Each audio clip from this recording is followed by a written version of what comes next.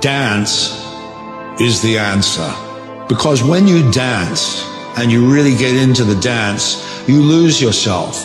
You lose your personality. You forget your name. You forget your job. You forget your status. You forget your future. You forget your past. What you're involved in is the now. And the now is blissful.